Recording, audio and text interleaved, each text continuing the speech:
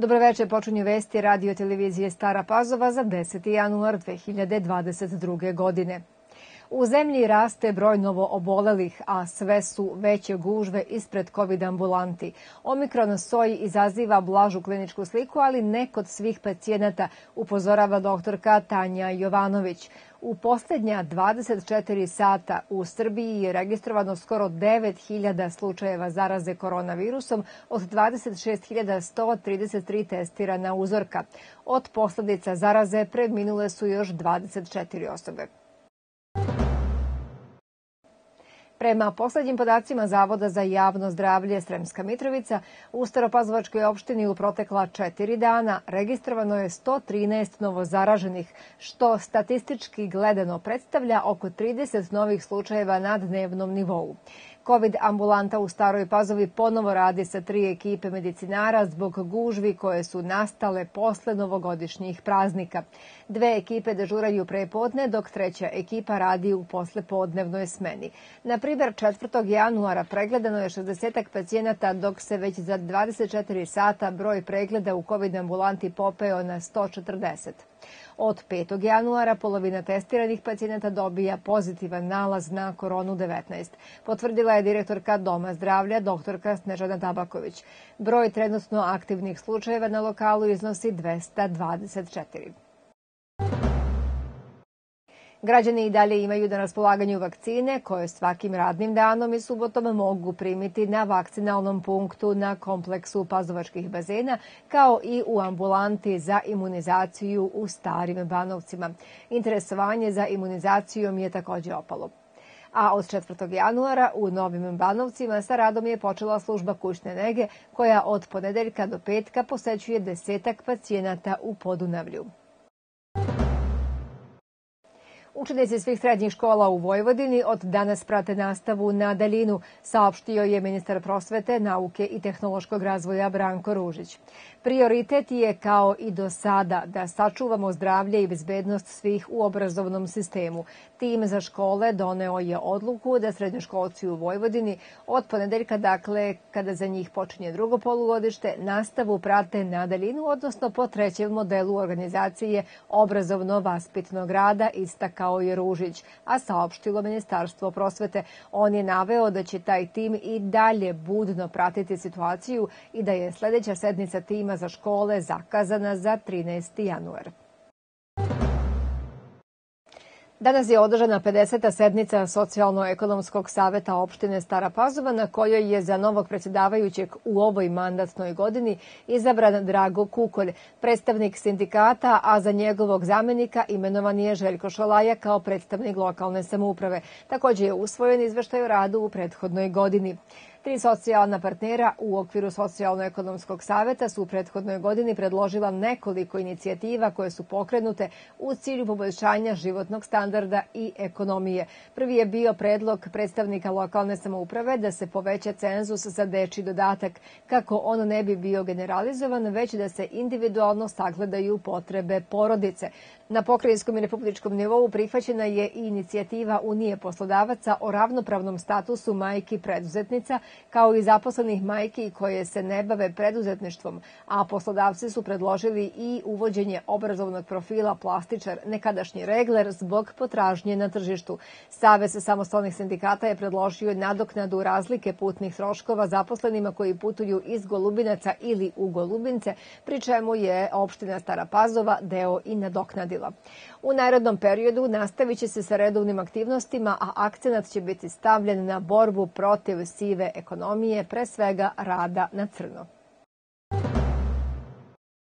Pravo glasa na referendumu koji je zakazan za 16. januar ove godine imaće 55.000 405 birača na teritoriji opštine Stara Pazova, što je neznatno više u odnosu na poslednji izborni ciklus u junu 2020. godine. Građani sa pravom glasa izjašnjavaće se na 53 biračka mesta kao i na prethodnim izborima. Jedina izmena se odnosi na Belegiš, gde će se biračko mesto umesto u Lovačkom domu nalaziti u novoj zgradi osnovne škole. Na referendumu će se građani Srbije izjašnjavati o aktu promene Ustava u u delu koji se odnosi na izbor sudija. Ustav se menja u oblasti pravosuđa da bi se srpsko zakonodavstvo uskladilo sa evropskim u procesu pristupanja Srbije Evropskoj uniji, a promene se odnose na način izbora sudija i tužilaca kako bi se smanjio uticaj politike u ovom procesu. Njih više neće birati Skupština Srbije, već Visoki savet sudstva i Visoki savet tužilaštva. Vlada Republike Srbije usvojila je na sednici predlog zakona o privremenom registru državljana Republike Srbije od 16 do 29 godina, kojima se uplaćuje nočana pomoć za ublažavanje posledica pandemije bolesti COVID-19. Prijave za građane kojima se predloženim zakonskim rešenjem utvrđuje pravo na novčanu pomoć, a koji su državljani sa prebivalištem u Republici Srbiji i posjeduju važeću ličnu kartu, vršit će se elektronski putem portala e-uprave za trezor od 15. do 30. januara 2022. godine. Ministar financija Siniša Mali izjavio je da mladi od 16 do navršenih 30 godina mogu da se prijave za pomoć države od 100 evra u dinarskoj protivvrednosti od subote 15. januara. Mali je dodao da je neophodno da svi koji žele da konkurišu imaju ličnu kartu. Pasoš neće važiti. Prijave za 100 evra biće preko sajta Uprave za trezor. Prema njegovim rečima, pomoć za oko 120.000 zdravstvenih radnika u iznosu od po 10.000 dinara biće uplaćena 14. januara, dok će 10. februara po 20.000 dinara pomoći dobiti 1,7 miliona penzionera u Srbiji. Putevi Srbije upozoravaju da zbog najavljenih niskih temperatura postoji mogućnost pojave mestimične poledice na putevima. Prilaze zimskim turističkim centrima su prohodni. Putevi Srbije savjetuju vozačima da bez zimske opreme i lanaca ne kreću na put, a ukoliko se odluče na putovanje, trebalo bi da voze oprezno i pažljivo. Prelazimo na informacije iz kulture. Centar za kulturu Stara Pazova vas ponovo poziva u bioskop. Još sutra u pozorišnoj sali u Staroj Pazovi u ustaljenim terminima biće prikazana dva noviteta. Od 18 časova na repertuaru je animirana komedija Clifford Veliki crveni pas, dok od 20 časova možete pogledati nastavak kultne franšize sa Keanu Reevesovom Matrix Uskrsnuće. Sledi servisna informacija iz Elektroprivrede Srbije za sutra 11. januar najavljuju elektromontažne radove u Surduku u vremenskom periodu od 8.30 do 9.30 u ulici Cara Lazara od kućnog broja 69 i 48 do brojeva 135 i 138. Takođe u utorak, ali u vremenu od 9 do 12 časova, bez struje će ostati potrošači u Staroj Pazovi u ulici Kamenarevoj od broja broja 75 pa do kraja ulice. Stigli smo do sporta.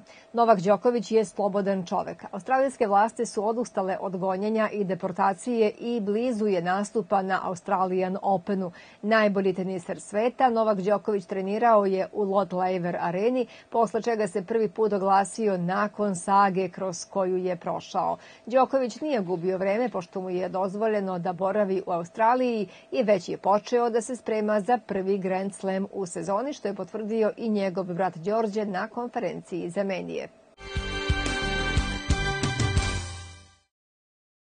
A u 17. kolu Admiral Bet Košarkaške lige Srbije Dunav je u subotu poražen u vršcu rezultatom 99-75.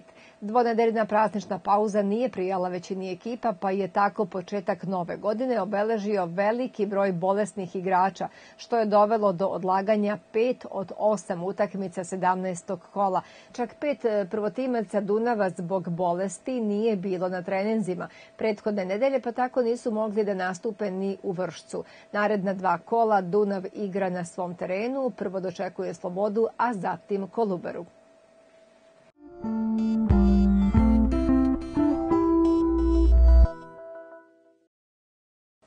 Pred nama su četiri ledena dana, što znači da temperatura neće prelaziti nulti podeok.